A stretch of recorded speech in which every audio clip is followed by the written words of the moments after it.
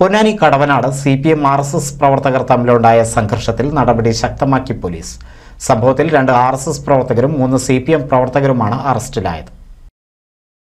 ദേശാഭിമാനി പൊന്നാനി ലേഖകനും C P M branch സെക്രട്ടറിയുമായ P S അജീഷിന്റെയും സി പി എം അംഗമായ കരുവടി മോഹന്റെയും വീടിന് നേരെയും R S S C P M പ്രവർത്തകർ തമ്മിലുണ്ടായ അടിപിടിയിലുമാണ് പോലീസ് അന്വേഷണം ഊർജിതമാക്കിയത്. വെള്ളിയാഴ്ച രാത്രിയിലുണ്ടായ അക്രമത്തിൽ രണ്ട് ആർ എസ് എസ് പ്രവർത്തകരും മൂന്ന് സി പി എം പ്രവർത്തകരുമാണ് അറസ്റ്റിലായത്. വീട് കയറി ആക്രമിച്ച സംഭവത്തിൽ പള്ളപ്രം കളരിക്കൽ ഗോകുൽ കടവനാട് പള്ളിക്കര നിഖിൽ എന്നിവരും ആർ എസ് എസ് നേതാവ് രാജീവിനെ ആക്രമിച്ച കേസിൽ സി പി എം പ്രവർത്തകരായ കടവനാട് തൃക്കണാശ്ശേരി ജിജിൻ ദാസ് കരുവാട് വിഷ്ണുദാസ് ഉല്ലാസ് എന്നിവരുമാണ് അറസ്റ്റിലായിരുന്നത്. ഞായറാഴ്ച മൂന്നുപേരെ കസ്റ്റഡിയിലെടുത്ത പൊന്നാനി പോലീസ് ചോദ്യം ചെയ്തെങ്കിലും ഇവർക്ക് അക്രമവുമായി ബന്ധമില്ലെന്ന് കണ്ടെത്തി വെറുതെ വിടുകയും ചെയ്തു. രാത്രിയിൽ ബൈക്കിൽ വരികയായിരുന്ന ആർ പ്രവർത്തകൻ രാജീവിനെ വഴിയിൽ തടഞ്ഞു നിർത്തി ആക്രമിക്കുകയായിരുന്നു എന്നാണ് ആദ്യത്തെ കേസ്. കല്ലുകൊണ്ട് രാജീവിനെ തലക്ക് മർദ്ദിച്ചതായാണ് പറയുന്നത്.